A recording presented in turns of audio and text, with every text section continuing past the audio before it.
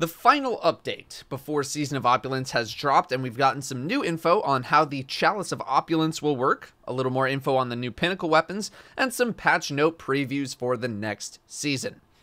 First up, the Chalice of Opulence. Essentially, the Chalice feels like the Mote synthesizer and the Dawning cookie oven mashed together, and this is what you'll be using for the next season you'll need runes to slot into the Chalice of Opulence. You get these runes by doing weekly bounties, opening Nessus Barge weekly chests, that's a new thing, or by using a consumable that will give you a rune after a strike, crucible, or gambit match. Then you'll put the runes into the chalice, you'll go do a round of the menagerie, and you'll get rewarded. The rewards are based on what kinds of runes you put into your chalice. Then you can upgrade the chalice with Imperials, which have various effects, from giving you more powerfuls per week to allowing you to choose specific guns and their masterwork stat. So, pretty significant stuff. You earn Imperials from weekly bounties, certain triumphs, special consumables, and chalice upgrades. Then you can choose what you want to upgrade first on your chalice. More rune slots to control an item's specialization, more runes or rune variety, or more powerful rewards from the menagerie. Bungie gave an example of a weapon that you could make. If you wanted to make the beloved sniper rifle with handling masterwork, you'd use a rune of jubilation, any red, and any purple rune. So it's going to be up to the community to figure out all the different combinations of weapons and masterworks and armor and all that stuff, which should be pretty fun and probably pretty quick given how the community can really rally around stuff like this. I think I'm just going to do all the info first and we'll do thoughts at the end. Uh, check the description for a timestamp.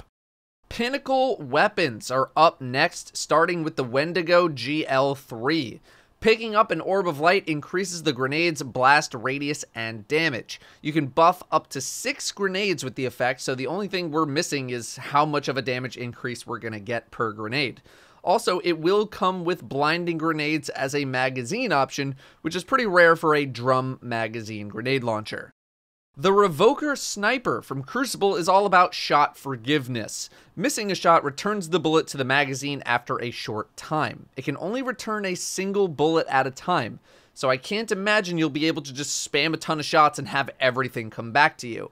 It comes with a low zoom ambush scope and snapshot, which is good, and it'll require 3,500 glory points. But you don't lose progress if you lose. So let me clarify that since I got a bunch of questions yesterday. Pretty simple to understand. You need 3,500 glory points. It's not you need to be 3,500 glory to get this gun. It's cumulative points that you earn while playing. So if you win two games, let's say you go up to 100 glory, and then you lose a game, you go down to 50 glory. Your glory rank will be 50, but your glory points earned towards the sniper will still be 100. You just need to win enough games to get 3,500 total glory points. Going on win streaks will get you there faster, but again, you never lose progress. The Gambit weapon is Hush, a combat bow with a super beefed up version of Archer's Tempo called Archer's Gambit. Super original name, which speeds up the time between shots. You proc Archer's Gambit by getting a hip fire precision hit. Next up, we have some weapon buffs. First, fusion rifles are getting a really solid damage buff all around. Non-exotic fusions are getting their PvE damage increased by 30 to 47% depending on the type. Exotic fusions are technically also getting buffed, but by 5% or less in PvE, so it's basically negligible. This change was made to bring legendary fusions a bit closer to their exotic counterparts. Sturm and Drang.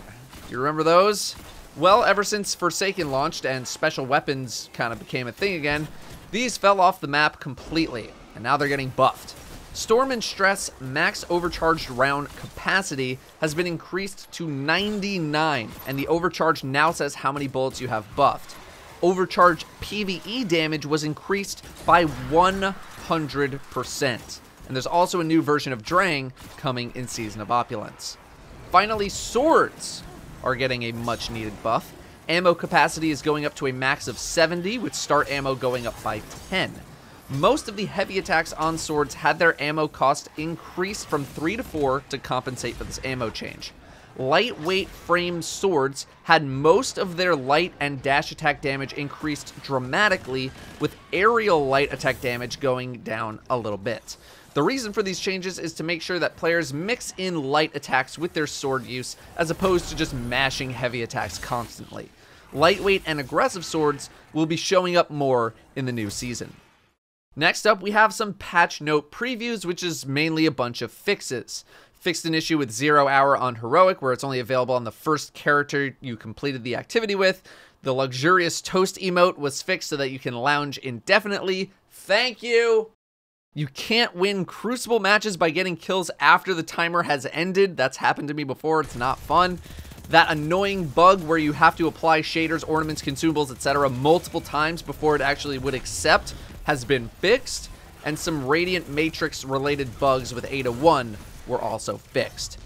Exotic catalysts are getting a little more visibility. With Season of Opulence, you can track all of them via triumphs and they'll tell you where they can be found. When update 2.5.0 goes live, Sunshot, Graviton Lance, and Sweet Business Catalysts will be placed back into the game.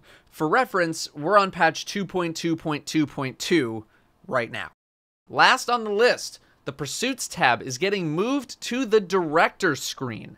You'll be able to filter between bounties only and quests only, should help you stay a little more organized, and the Pursuit inventory size has increased to 63 slots, up from 50, I imagine because it's 21 per page and there's three pages.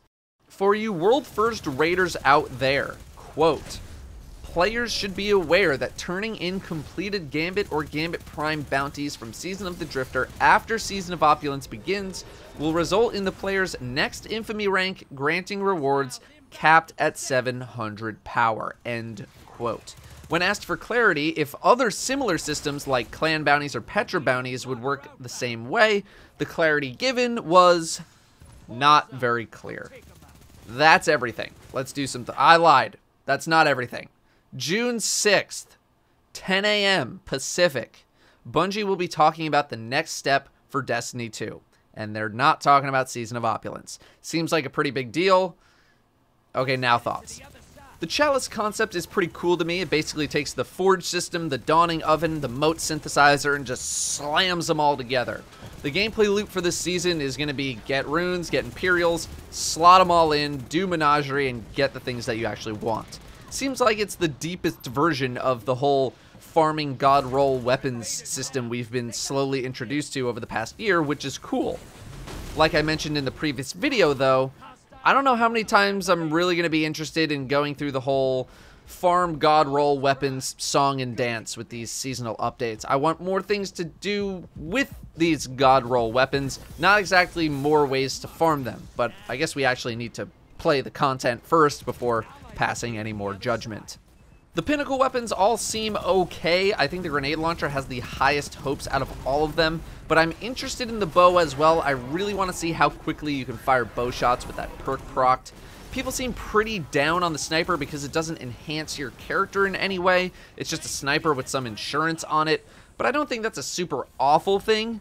However, having a set of armor that has double sniper scavenger may negate the need for bullets returning to your magazine, since you can just pick up a ton of ammo already. The fusion buff, the sturm buff, and the sword buffs are all great. I was hoping for fusions to start to be able to contest shotguns in the green ammo world, so to speak, and this will definitely help to a degree. Swords also really needed some love in almost every category, with ammo being the biggest factor, so that's great. I assume there's even more stuff coming with the patch. I would be pretty shocked if that was everything. Some people were disappointed by the lack of scout rifle changes teased. I really hope scouts get some love, but I think for that to happen, pulse rifle range really needs to be reined in. Scouts are only good at the longest of ranges, and there aren't that many things in the game where you need to be, or even physically can be, that far away. Finally, the Bungie stream on the 6th. What could it be?